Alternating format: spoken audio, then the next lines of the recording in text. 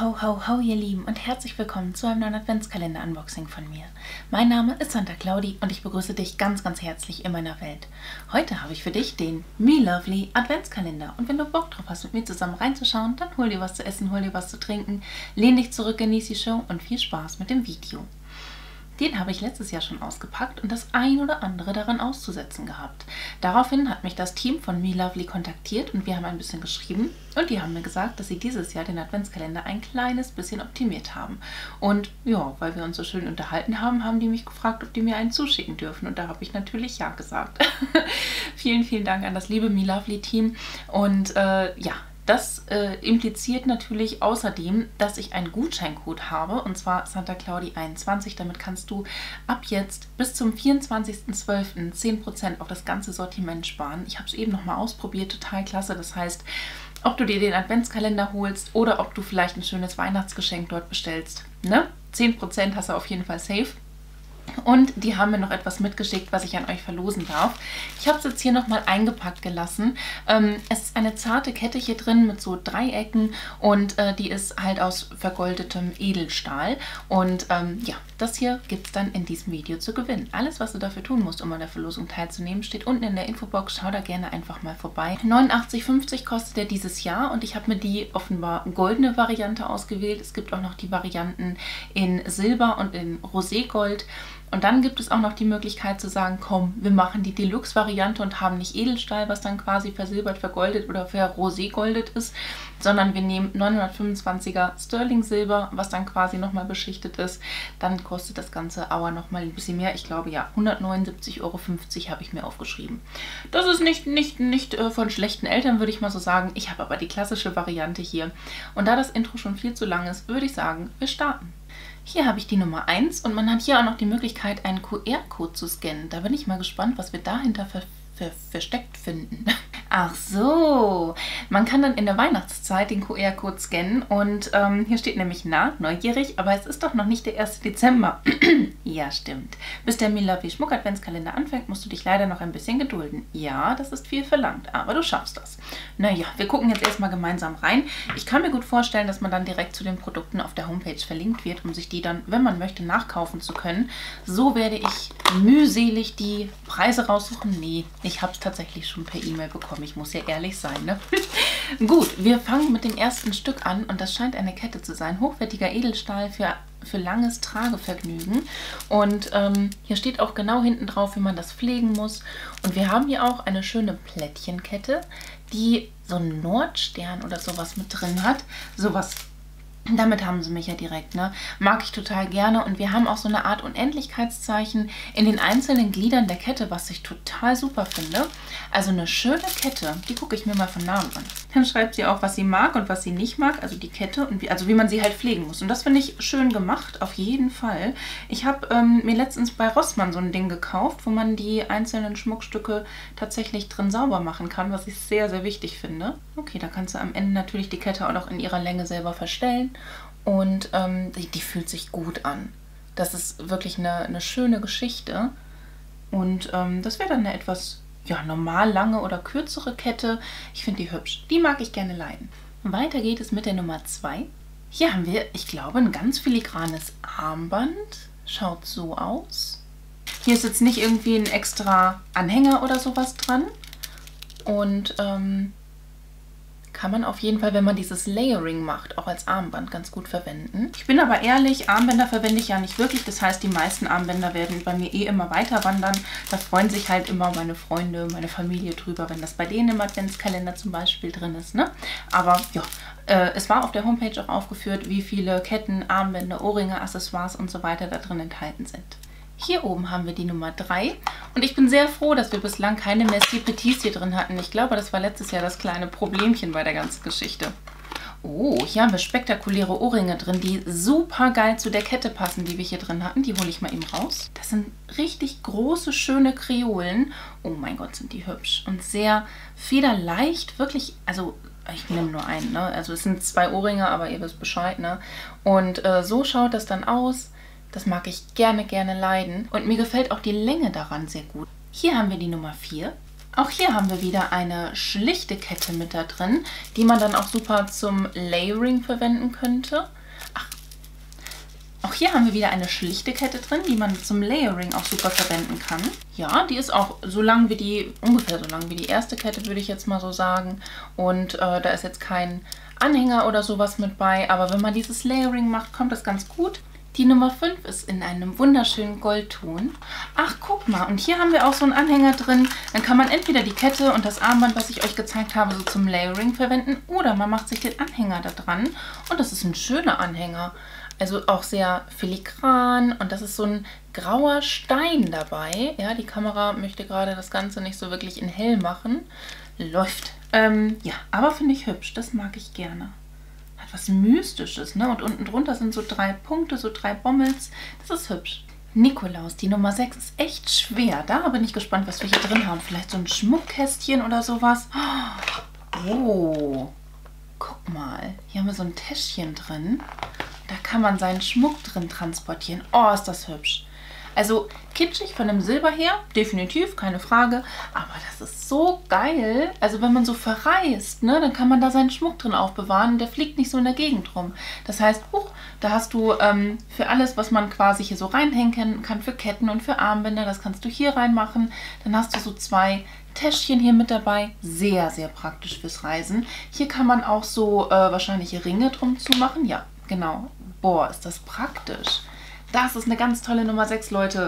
Liebes Me Lovely Team, das habt ihr geil gemacht. Ähm, und dann noch hier so ein kleines ähm, Beutelchen, wo man dann auch noch mal so ähm, Ohrstecker oder sowas reinmachen könnte.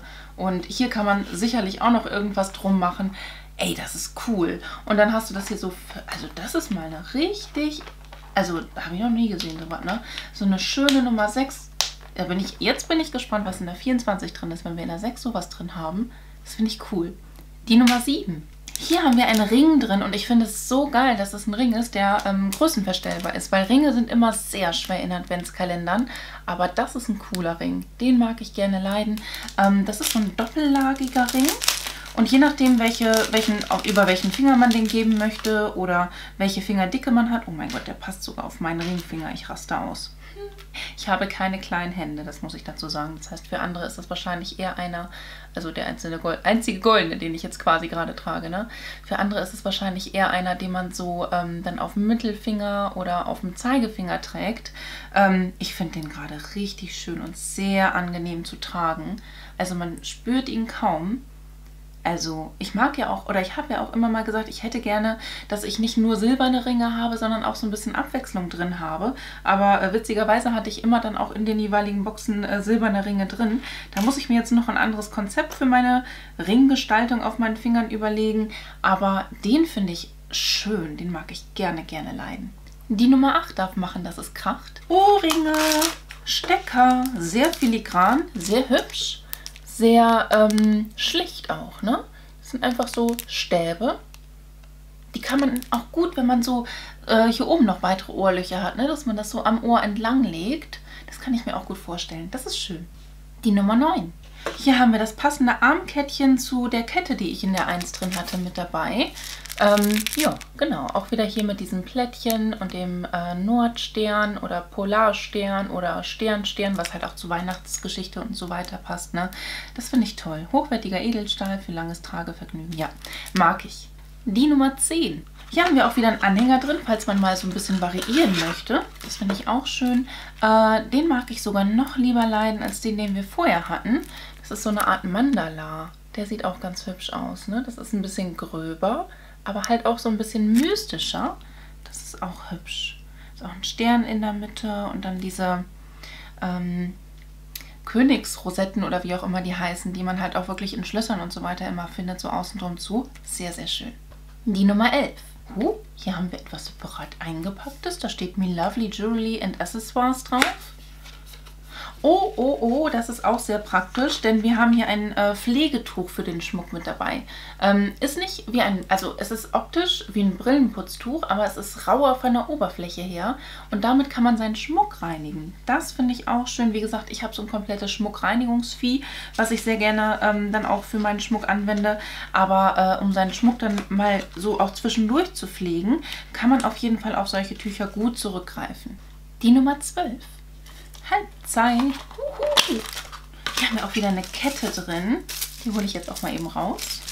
Oh, wir waren ja eben schon bei diesem Layering-Look und das ist eine Kette, die schon dieses Layering an sich hat, weil das so eine doppellagige Kette ist. Und die ist hübsch. Die hat so einen ähm, Kreis halt unten dran und ist dann an einer Kette, die schlicht ist. Und die zweite Kette, die mit dabei ist, die hat so Bommel-Dinger dran. Und ist noch ein bisschen filigraner. Die finde ich hübsch. Die kann ich mir auch sehr gut an mir vorstellen. Das wird dann auch wieder eine etwas kürzere Kette sein. Die Nummer 13. Oh, guck mal, hier haben wir direkt hierzu passend entweder ein Fußkettchen oder ein Armkettchen, weil wir haben auch, glaube ich, ein Fußkettchen hier drin. Da muss man nochmal genau herausfinden, was jetzt was ist. Ähm, das ist jetzt auch mit diesen Bommelfiechern mit dabei. Das finde ich ganz hübsch. Und äh, ja, würde ich Armkettchen tragen, würde ich das verwenden, aber leider, leider nicht. Ähm, aber man weiß ja, was einen erwartet, wenn man den Adventskalender bestellt. Die Nummer 14. Oh, hier haben wir richtig schöne Ohrringe drin. Und zwar sind das so Sterne, also immer so drei Sterne zusammen, so eine Art, ja jetzt nicht Sternschnuppe, dann hätten die ja einen Schweif mit dabei, ne? Aber das sind halt Ohrstecker, die so in Sternschnuppenform sind irgendwie. Und dann kann man die sich halt auch so wirklich am Ohr so hochlegen. Ähm, kann natürlich auch machen, dass sie so runterhängen, aber ich persönlich würde mir die dann quasi so reinstecken, dass sie dann hier so hochgehen. Und das finde ich ganz hübsch. Die Nummer 15 ist ziemlich schwer. Da bin ich mal gespannt, was wir hier drin haben. Ein Stein? Nee, Lovely, that's me. Das ist sehr, sehr wahrscheinlich ein Spiegel. Der fühlt sich richtig geil an. Also, ja, äh, von der Oberfläche, der ist jetzt nicht irgendwie glatt oder so. Das, das fühlt sich so ein bisschen an, als wäre der so mit Stoff bezogen. Ganz, ganz interessante Haptik. Und ähm, schön dieses Marmorierte und halt ein Taschenspiegel. Wir haben das öfters in Adventskalendern, dass dann als Füllprodukt auch mal ein Taschenspiegel drin ist. Aber ich muss wirklich sagen, der ist schwer, der ist super klar. Der gefällt mir enorm gut. Den mag ich richtig gerne. Den werde ich auch wahrscheinlich sogar behalten und äh, gegen, ja, gegen den, den ich schon besitze, austauschen. Denn ich habe noch den hier von Crash Cosmetics. Den hier finde ich irgendwie ein bisschen hübscher. Die Nummer 16. Hier haben wir auch wieder eine Kette drin, wo wir dann ja auch äh, variabel unser, ähm, unseren Anhänger dran machen können. Uh, die ist aber schön lang. Oh, wow. Schön. Die, die ist richtig, richtig lang. Mag ich gerne leiden. Ich weiß nicht, wie ich das am besten zeigen kann. Das ist eine schöne Kette. Die finde ich echt, also mag ich gerne. Ne? Sehr simpel, aber eben durch die äh, Anhänger kann man die dann aufpeppen. Und da würde ich tatsächlich dann auch diesen ähm, Mandala-Anhänger dran machen. Ich glaube, das sieht richtig schön aus. Cool. Die Nummer 17. Hier haben wir auch wieder Ohrstecker drin. Das sind coole Ohrstecker. Die kann man sicherlich mit denen kombinieren, wenn man mehrere Ohrlöcher hat, die ich euch eben schon gezeigt habe. Weil dann kann man sich theoretisch die in, die, in das erste Loch unten, sage ich mal, so reinmachen. Ne? Und dann hängen die so runter und haben hier ihre Stäbe. Und dann macht man sich in das daneben liegende Ohrloch zum Beispiel den, den man so hochlegen kann. Finde ich total cool. Und ist auch sehr, sehr edel. Ne? Wenn man so, ein, so eine Hochsteckfrisur oder so einen Zopf oder so trägt, dann kommt das ganz gut mit so lang hängenden Ohrringen, die aber sehr filigran sind. Herzlich willkommen in der Weihnachtswoche, die Nummer 18. Hier haben wir auch wieder, oh das ist auch hübsch, äh, einen Anhänger drin, den man ja individuell dran machen kann. Und zwar haben wir hier einen Mond. So eine schöne Mondsichel ist auch wirklich, ne, passt dann auch, wenn man dieses Sternendesign verwendet und so, dann kann man das auch schön an eine Kette dran machen. Mag ich. Die Nummer 19 ist wieder so schön groß. Da bin ich ja gespannt, welches Accessoire sich hier drin verbirgt. Hier haben wir auch wieder so ein Täschchen. Das ist, glaube ich, so eine kleine Geldbörse, oder? Kann das wohl sein?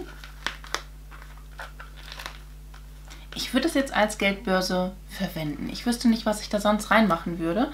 Ähm, oder halt Kreditkarten oder so. Dann haben wir hier noch einen Anhänger, da kann man was dranhängen. Ne? Oder man kann das Ding irgendwo dranhängen, ist klar. Und äh, ja, ein schönes kleines Party-Portemonnaie tatsächlich. Die Nummer 20. Hier haben wir auch wieder ein Armband drin. Dieses Mal ist das aber irgendwie auch mit geflochtenem Stoff. Und in der Mitte haben wir dann so Goldperlen ähm, ja, die dann ja quasi vergoldeter Edelstahl sein werden. Und hier hinten sehen wir dann den verstellbaren Verschluss, was ich auch ganz schön finde. Dieses Armband ist für mich eher so ein, ein filigranes, etwas mädchenhaftes Armband. Die 21. Hier haben wir auch so ein süßes Armbändchen drin, ähm, was auch ganz interessante Glieder hat. Also das Ist äh, sehr speziell, aber auch sehr hübsch. Das sind so Plättchen, die so Löcher drin haben und durch diese Löcher ist es verbunden. Ganz interessant. Und äh, das sieht auch so ein bisschen orientalisch aus, finde ich. Doch, ist ganz hübsch. Die Nummer 22. Hier haben wir kein Scrunchie drin, sondern ein, Arm, ein Haarband und das finde ich schon wieder cool. Ähm, das ist nämlich so in einem dunkelblau. Ja, mir wurde tatsächlich extra auch geschrieben, dass kein Scrunchie enthalten ist. so ein kleiner Running Gag, ne? Ähm, ich mag dieses Haarband tatsächlich sehr, sehr gerne. Ähm, ja, hinten hat es halt so einen Gummizug und das kann ich mir persönlich sehr gut vorstellen für den Sommer, wenn ich im Garten bin oder so, ne? Und ich nicht möchte, dass meine Haare mir im Gesicht rumhängen. Und ich habe ja auch häufig so einen Bommel und da mag ich ganz gerne solche Haarbänder einfach. Und äh, das ist hier vorne so mit, mit so einem geflochtenen Gedönsen. Und ich mag das von der Optik. Ne? Da kann man auch schöne Frisuren mitmachen. Das ist eine gute Alternative zum Scrunchie. Was meint ihr? Der Tag vor Heiligabend, die Nummer 23. Oh, hier haben wir wieder Ohrringe drin. Oh, schöne Ohrringe. Auch das sind äh, Hängeohrringe und äh, die haben so kleine Perlen unten dran. Das ist so äh, unten drei Stück dann drin, ne? Und das passt auf jeden Fall zum Tag vor Heiligabend, weil alles wird festlicher und so. Und ich trage auch sehr, sehr gerne so Schmuck, wo Perlen-Applikationen mit bei sind. Deswegen kann ich mir vorstellen, dass wir in der 24 vielleicht auch eine Kette mit Perlen drin haben, passend zu den Ohrringen. Dann schauen wir mal rein, was in der 24 drin ist. Heiligabend. Das ist ja quasi unser kleines Weihnachtsgeschenk von dem Me Lovely Team.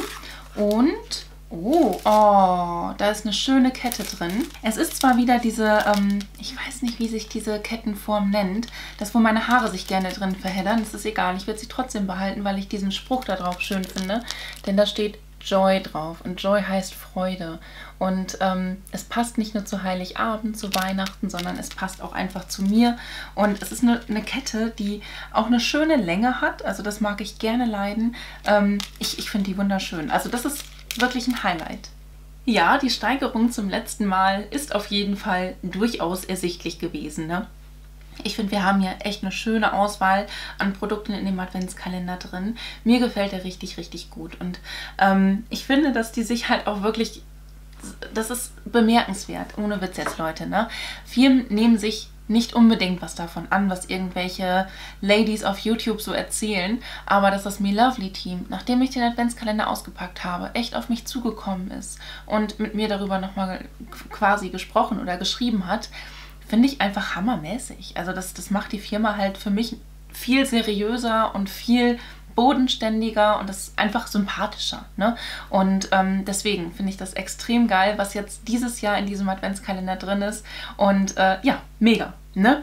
Cool finde ich auch, dass ich euch noch einen Code mit an die Hand geben kann, um einfach ein bisschen was zu sparen, dass ihr mit Santa Claudi 21 10% sparen könnt auf das ganze Sortiment und da einfach noch ein bisschen, vielleicht den Adventskalender, vielleicht das ein oder andere Weihnachtsgeschenk shoppen könnt. Und ähm, ja, ihr Lieben, ne, denkt an die Verlosung, alles dazu in der Infobox. Und wenn euch das Video gefallen hat, dann lasst mir doch sehr, sehr gerne einen Daumen nach oben da. Würde ich mich mega drüber freuen. Ansonsten wünsche ich dir einen wunderschönen Tag, einen wunderschönen Abend. Lass es dir ganz einfach gut gehen. Fühl dich ganz doll gedrückt von mir. Ich verlinke dir mal hier oben meine Playlist mit den ganzen Adventskalender-Unboxings. Hier unten meinen neuesten Upload, auf dieser Seite noch ein Video von mir. Und hier oben kannst du, wenn du möchtest und es vielleicht noch nicht getan hast, mich sehr, sehr gerne einmal kostenlos abonnieren. Ich würde mich echt von Herzen drüber freuen. Lass es dir gut gehen und hoffentlich bis zum nächsten Mal. Ciao!